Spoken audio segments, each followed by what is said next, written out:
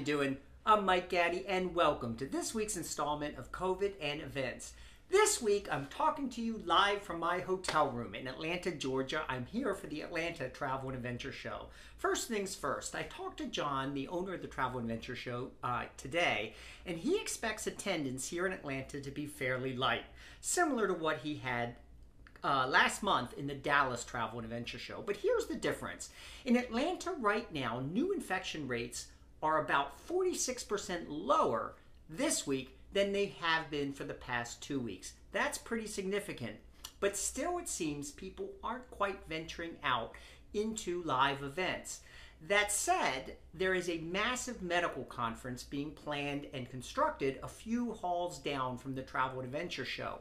I did not see any kind of mask requirement signing or vaccine passport requirements um, at that event, which I found surprising. I'll try to figure out what, how many people actually attended and what that represents for their normal type of convention and let you know that on the next installment next week when we come to you from Santa Clara, California. By the way, I came across something on my LinkedIn, a bit of a controversy that event planners are having about requiring participants to provide vaccine proof of vaccine. Some suggested that it was a violation of HIPAA require uh, HIPAA laws, HIPAA, those laws which protect medical confidentiality. It is not a violation if you ask the participant directly for proof of vaccine. It is only a violation if you ask their medical provider without a medical release form. But if you ask the participant, it is perfectly fine. There are some jurisdictions, though, that will not allow you to ask for proof of vaccine. Texas comes to mind.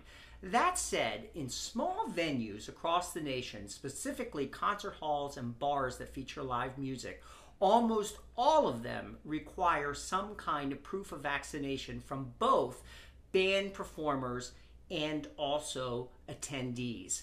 So it is definitely something to consider when you're planning your event if you're going to ask for vaccine requirement, masks, etc. As we go forward, I think attendance will continue to tick up. I it seems to me that hotels are starting to fill, restaurants are starting to fill, and I think live events are right around the corner. However, planning for live events for fourth quarter 2021 still seems off to me. And I base that on our search engine reports suggesting that there's not a lot of traffic searching terms that are um, that you would search when you're planning events.